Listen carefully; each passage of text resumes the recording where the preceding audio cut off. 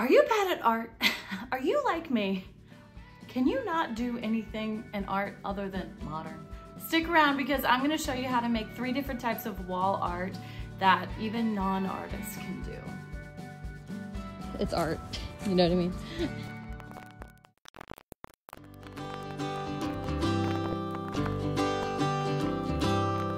I'm Caitlin. And I'm Cassie. And we're the DIY Sisters. Hi guys, welcome back to the channel. I'm Cassie, one half of the DIY Sisters, and this week we're making modern wall art. I had these three canvases. I was hoping to make like a set of three that someone could put in their homes. However, it didn't go down like that. These are actually photos I took. So uh, this is from Sri Lanka, this is from Turkey, and this is from Germany. Uh, and I just, I had these in my apartment for a long time in New York. And it's just time for a change. And I want to try to do something fun and see if we can sell it.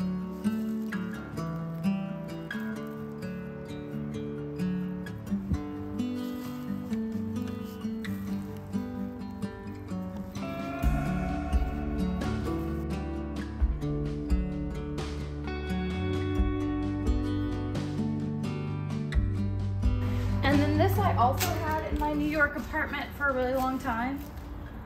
Really big, so I want to do something really fun to this, but we're definitely gonna need to cover it up. It's gonna probably take quite a few layers of primer, but then I'm gonna put joint compound on, so I don't, it doesn't have to be completely perfect, but um, yeah, I bought this for $20 in New York, and um, I want to try to do something really cool to it, and I feel like I could maybe sell it for a lot. Let's hope so at least. Okay, let's let this dry and then we'll do one more quick coat. But again, I'm covering this in joint compound, so it'll be chill. We're, we're keeping it relaxed. I'm feeling um, happily sentimental about like the joy that these pieces have brought me and like brought me for a long time. And you know, it's fun to repurpose them. I'm not gonna use them again, so I don't know. Anybody else get like too attached to things? Anybody else a little too sentimental? Because, because I am. It's not that big of a deal, I promise.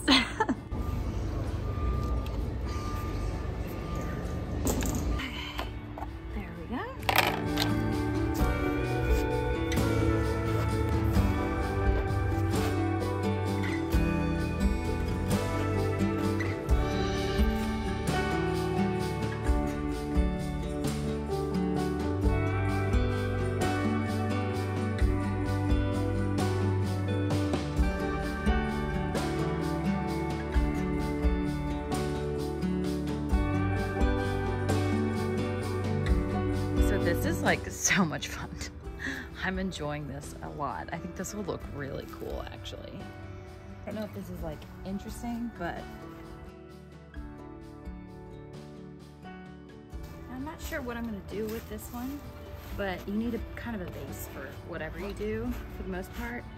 And I could not figure out what design to do for this one. I mean, I honestly just didn't have a vision and I thought I could wing it, but spoiler alert, if you're not artistic, you can't just expect to get inspired. You have to have a plan. Okay, it's getting scrapped again. I just don't like that. It just doesn't feel like a collection of the others. So, let's do it again. Don't do what I did, have a plan. This whole canvas gets scrapped at the end. I'm really happy with my little collection. I think it turned out really great and I can't wait to paint them. Okay, so I picked up these paints from the Restore for $5. This color is Greenbrier Beige. And this one is Van Buren Brown. Kind of a very classic looking beige. Okay, and so I don't have like a total plan. You know, I will, am kind of winging it. Ooh, this is fun.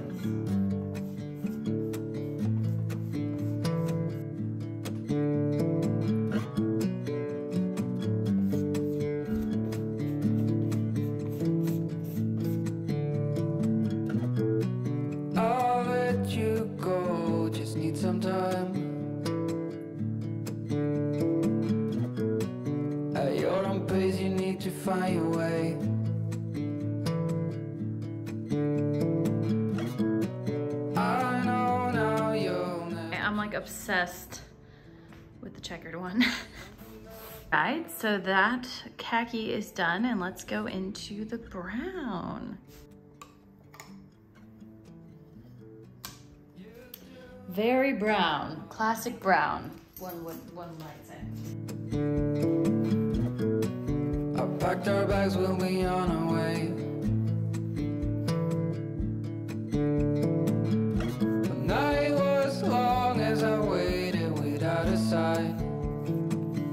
So that's interesting. I do wonder like who would want to put that in their home?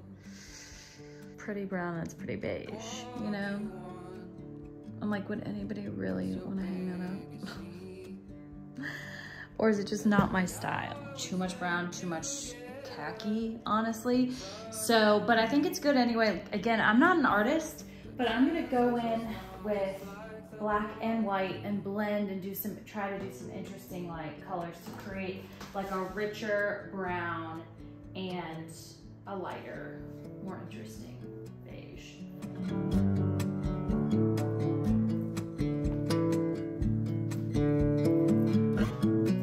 It's been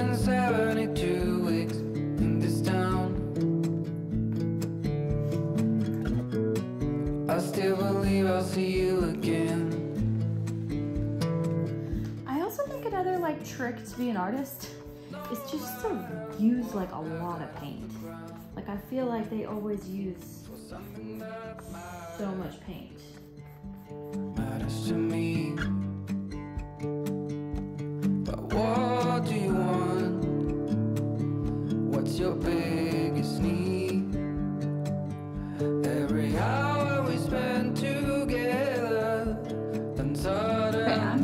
This is looking pretty good.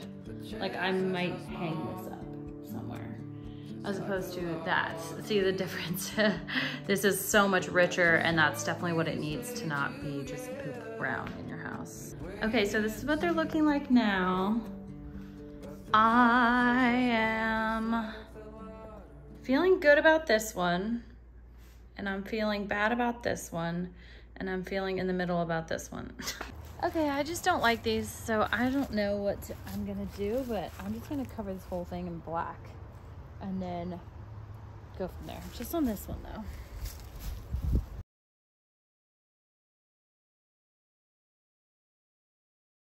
Isn't like the final products or anything. I just want to paint and do some stuff to it till I like it. You know, I had the other one hanging up. I don't know if you can see it. Um, it's hanging up inside and I like it. Like I'm, I'm liking the way that that looks. That night, I went to Pinterest for inspiration and found this photo. I just thought it was really cool and that I could make it with string and tissue paper, and so let's do it.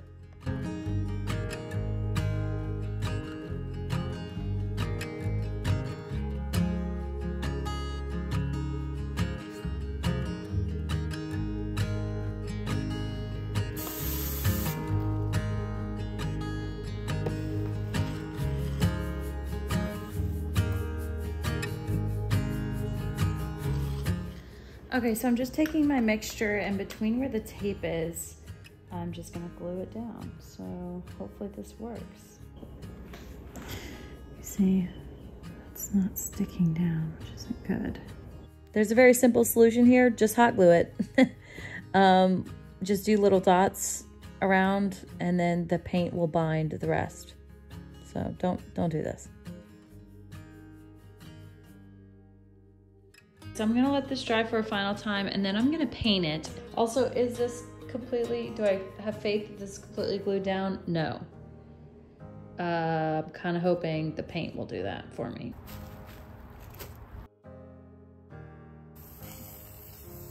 Now, technically, the painting this was a superfluous step, but I just didn't want to hot glue it because it was all wet and gooey and gluey. So I just was like, let me let the paint do it. So if you're going to do this, just hot glue it. Don't worry about painting it to the very end.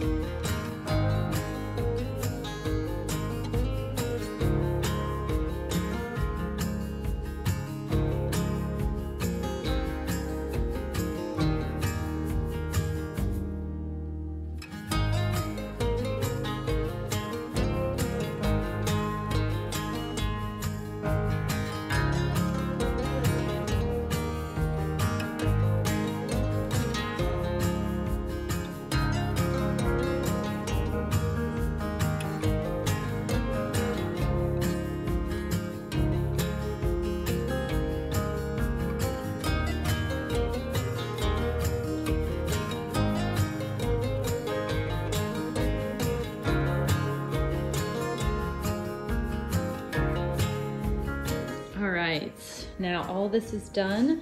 I am loving the way it's looking. I think it's gonna look really cool. We're gonna, I'm gonna put down some tissue to try to make it look a lot more matte and let's see how it goes.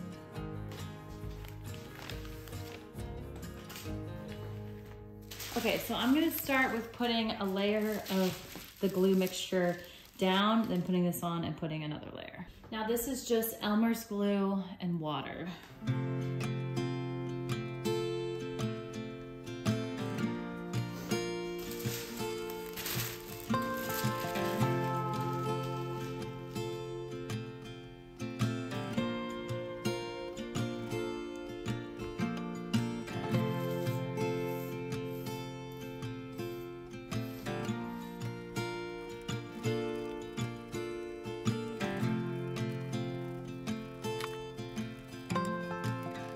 All right, let's see how it dries.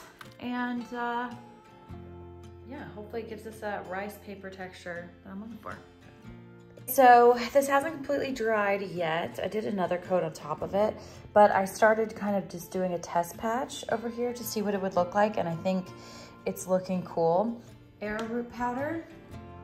Um, it's very similar to cornstarch. So I just wanna make this look matte.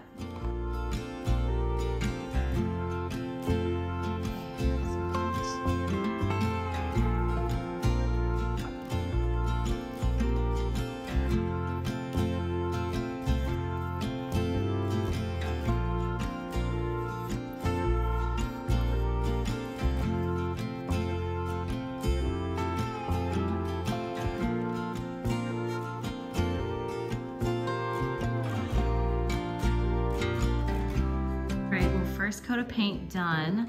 It looks really cool. I think the paint helped add some weight to this to make the um, edges more defined, which is good. But um, we'll see how it dries. Uh, there's some things I would do differently, but I will tell you about that right now. Here's what I would have done differently. One, I would not have put joint compound on there. The only reason I did that is because I thought I was gonna do something else, you know? That was not the original plan, so don't put joint compound on there. Two, I would use a larger string. The string I used was pretty small, and I think its impact is a little, is a little too small.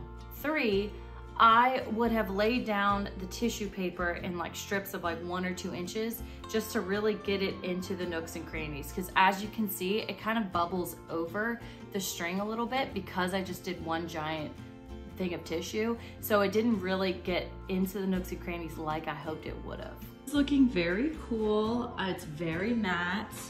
Um, I just need to do an another coat to cover up all these like little spots. But I think if you modify those things that I did wrong, I think you could get really close to this picture texture. I love how matte it is. I love how the tissue paper looks like the rice paper. I think it would look even more like the rice paper if you do what, I what I'm suggesting. But um, yeah, I think it was, a, it was a great project, so I highly recommend. We're gonna have to try again another time. We will do a redemption episode and figure out what we're gonna do with this canvas. if you're enjoying this video, consider giving it a thumbs up and subscribing. We post new videos every Wednesday and we're having a blast doing it. Now let's finally get to our third and final wall art project. This last painting was just something I, I was inspired by DIY Dahlia. She has a painting like this in her home. It's really simple, but I think it works for something that's so large. You don't want this like crazy, busy, insane piece of art when it's this big. And I think like the simple modern look is really effective in people's homes. Yeah, so that feels like it's pulling that way. And then this just feels like it's pulling more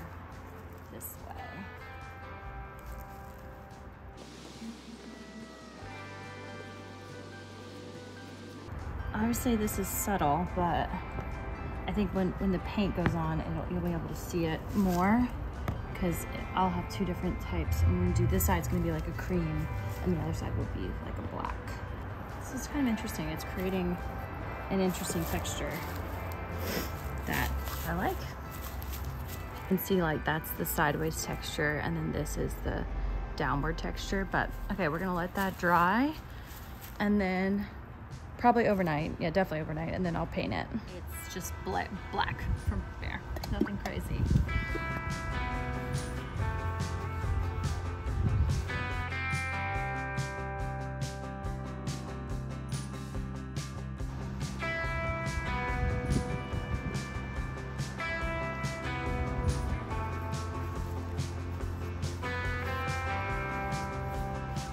Excited about this one because I already like it. Like that's something I would hang on a wall already. And I need to paint this like a white creamy color. And yeah, so if nobody wants this, then I'll put it in my house in Florida. I don't know if you can see it, but I did a little tester. And this is uh, table linen by Behr uh, flat. And I like that one better. So this is just the primer and this is lychee.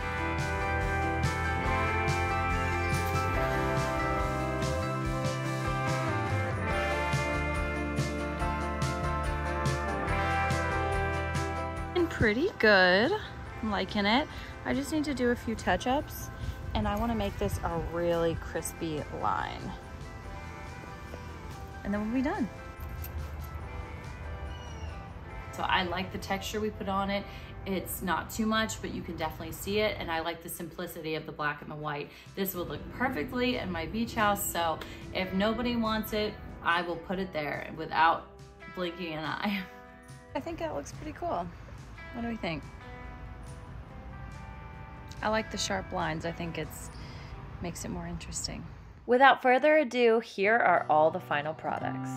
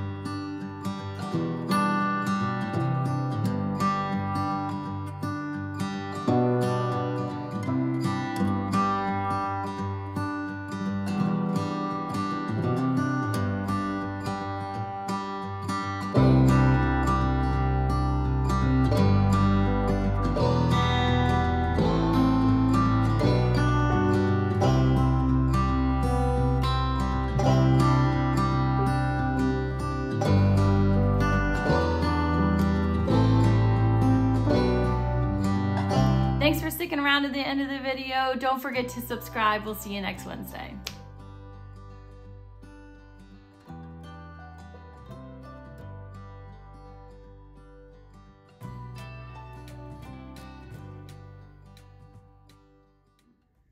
Vintage looking. Oh, there's a squirrel.